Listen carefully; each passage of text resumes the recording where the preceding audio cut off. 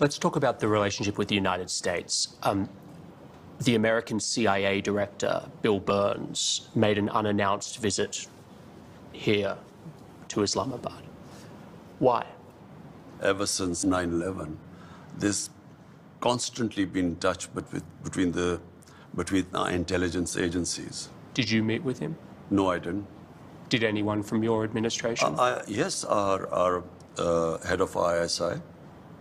The Americans want to have their spies here and special forces based here in Pakistan to keep an eye on what's happening across the border.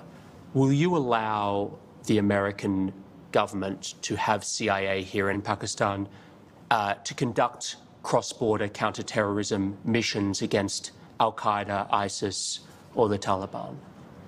Absolutely not.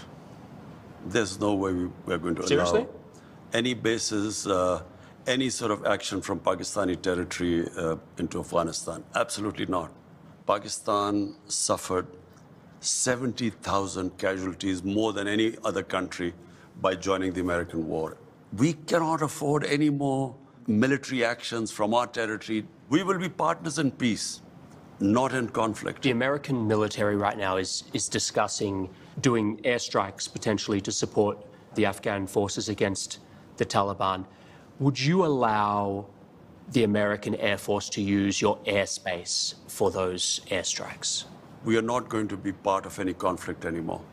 But you haven't decided yet whether that you'll let them use your airspace. This hasn't been discussed at all, so What's your feeling about that? I don't know. We'll discuss this.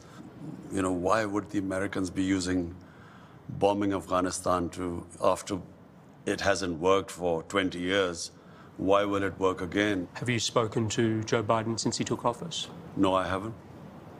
Is there a reason for that? Whenever he has time, he can speak to me.